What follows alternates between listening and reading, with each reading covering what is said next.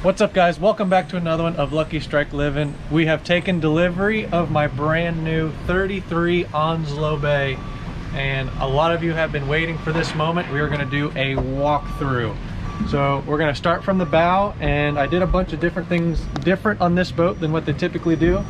But number one, Rhodan trolling motor. I will never have a boat without it. If you're bottom fishing, grouper fishing, you never wanna anchor ever again, this is your tool right here. But just in case, if the weather gets really bad or something goes wrong, my anchor locker up here, if you look inside, anchor, rope, ordinary, nothing crazy. So something special that I did is typically Onslow Bay puts two cleats over here. I put pop-up pop-up chocks. So this allows me to, when I let the anchor line out, I can put it through this chalk and run the rope down the boat and I can cleat it off at that back chalk, that back cleat right there. So I can manipulate the boat forward, backward without having to come all the way to the front, letting rope out, clearing it off from the front. Also have another one over here. This allows you to, if you cleat it off on this side, the boat will move to the left. If you cleat over here, it'll move the boat over to the right. So if you miss your spot by 15, 20 feet, you can manipulate it that way. If I got it just right, I got a cleat up in front, dead center, and also for docking and things like that.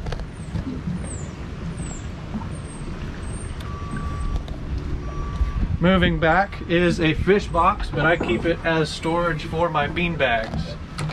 Don't notice all the dog hair because Rip, if you don't know, my black lab who's back there, he is my first mate on all my trips, so there will be dog hair on the boat. But storage for bean bags. Move back. A little hatch for the same hatch, if that makes sense.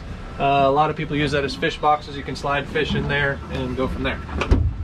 Next is another fish box, but we keep it as dry storage um, for all my customers' needs, some for my needs.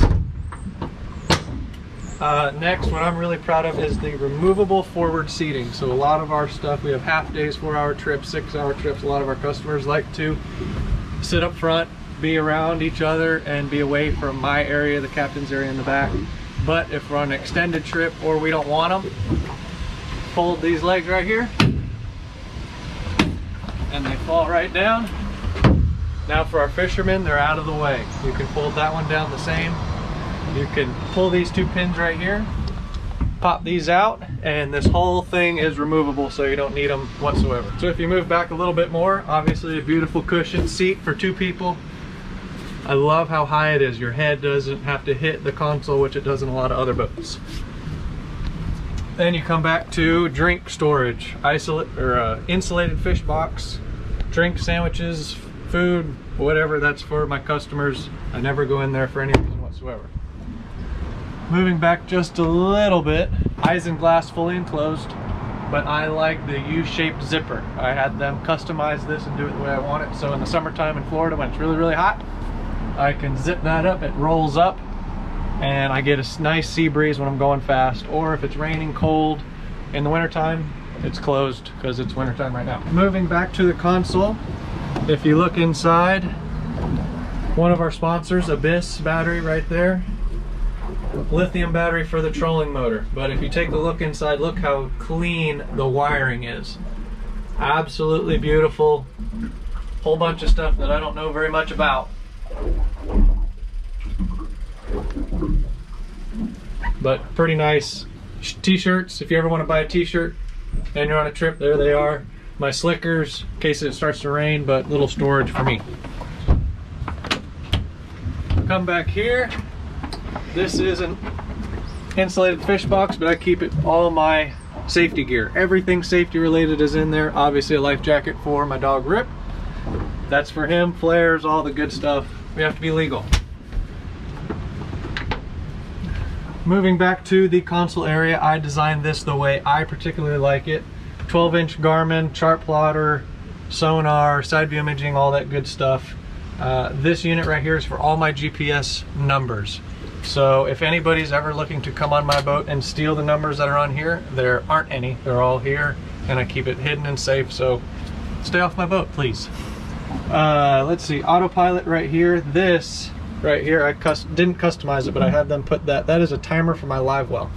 So if I have shrimp, I have the timer go off every five minutes when it'll pump fresh water in there. If I have threads, mullet, bigger baits that need more air or oxygenized water, I'll make the timer go less time between pumps. So it saves your live well a lot of work. It doesn't run 24 seven. I absolutely love it. Um, radio, radio, self-explanatory throttles, trim tabs.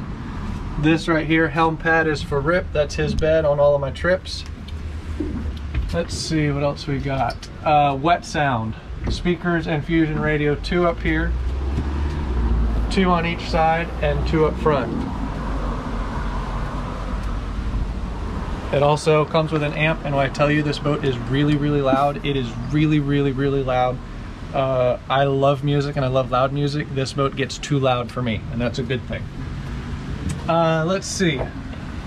Oh, up here, storage for me, covers for all my screens, sunscreen, couple hooks, nothing in there but storage. Moving back,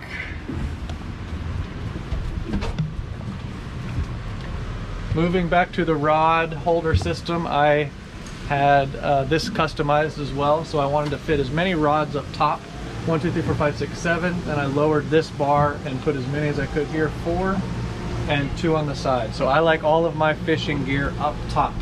So for example, this is mainly for dip nets, uh, hooks. Right now, my wife and I are gonna go fishing, so I put a couple rods here. But if you're holding on and it's rough, you don't wanna have, in my opinion, fishing rods right here hooks in the way, hooks in your face.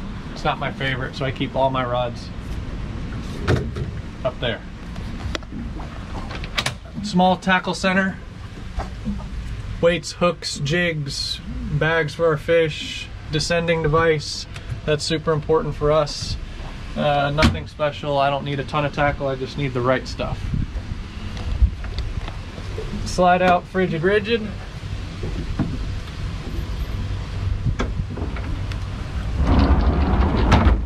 also is a seat.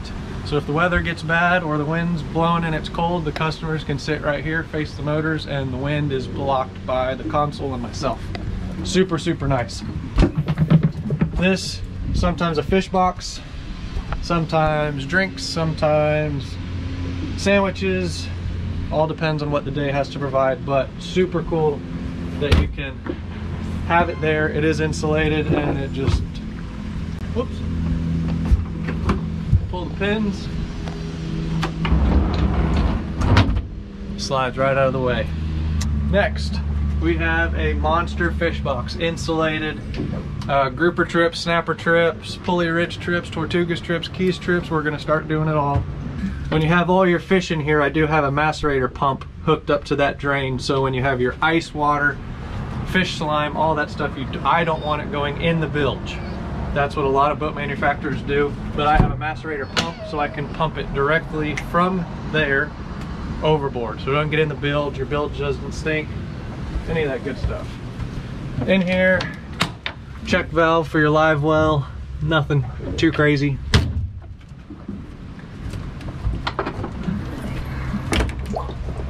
This is your bilge access, macerator pumps, live well pumps. Let's see macerator drain switches. Everybody knows what's in here. Uh, it's fairly simple, self-explanatory. What's super cool is look at the room. So I can get in here myself and work on anything. That is my freshwater tank right there. But I personally have already been in there and there is plenty of room to work on it. You don't have to You don't have to be in weird positions to get into your bilge and work on stuff. This is another fish box, but I keep it for cast net storage. Tortugas trips, that can easily be a fish box. Same thing, mirrored as that one over there. Macerator pump goes overboard and all the good stuff. Uh, let's see, rod holders in the back. I did three. You can design these any way you like.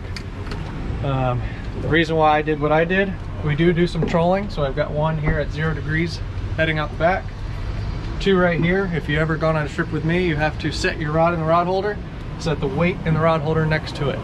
So that just makes it super simple, easy to understand. One person here. If I ever need to work on a fishing rod, tie it up, change the weights, change the lures, that one's for me. Two setups right here. Put your rod in the rod holder, put your weight in the rod holder right there for a person. Another person right there. Everything is mirrored on the other side, so it's exactly the same.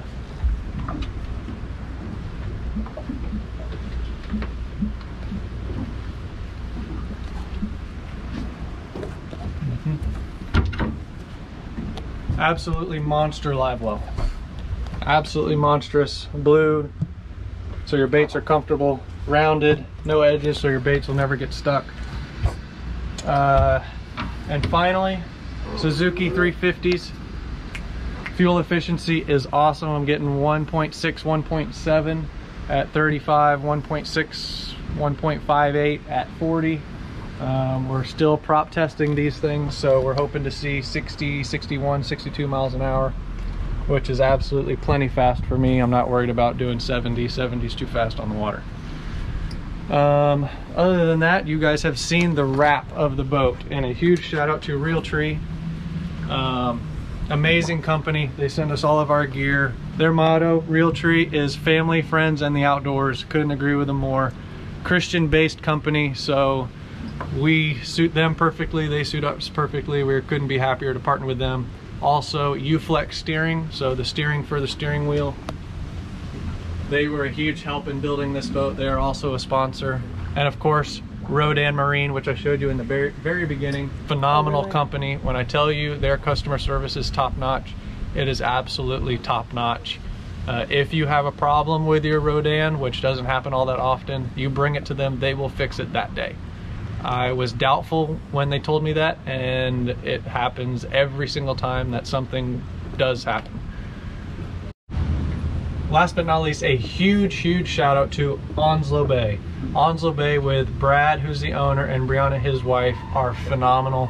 Their customer service is top notch, and when you call, they will answer the phone, text, email. It is awesome. My personal favorite about them, it is direct to the owner of the company. You can talk to them specs, sheets, prices, anything your heart's desire. You can custom build this any way you like.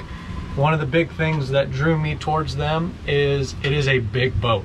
It is 3210 long and 910, maybe 911 wide, don't quote me exactly, but they foam fill their boats. But when I say that, a lot of boat manufacturers, they will insulate their fish boxes like I showed you, but every cavity from the hull to your fish boxes. Every inch of the boat is foam filled, glassed over, and then resined on top. So there's no replacing your gas tanks. There's no water intrusion anywhere. First class, they go above and beyond everybody else that I'm aware of. I don't know anybody else that does it.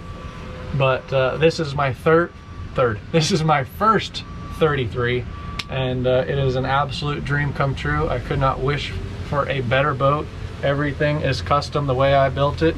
And if you ever want to build yours the way you want it, call Brad, call Brianna. They will answer the phone and get you in a 27, 33, 37, and 41. If you're ever interested in a boat, uh, fishing, sightseeing, just being on the water, they are top notch. You need to at least consider them. And of course, if you ever go to them and you heard about Onslow Bay through me, I'd appreciate if you told them I sent you. But uh, we are getting ready to go in full swing on our charters. If you ever want to book a trip, all my information will be in the description below. If you, below, if you want some apparel from us, custom fishing rods, we do it all. But uh, that's my boat, and my wife and I are gonna go fishing, so we are gonna see you guys later.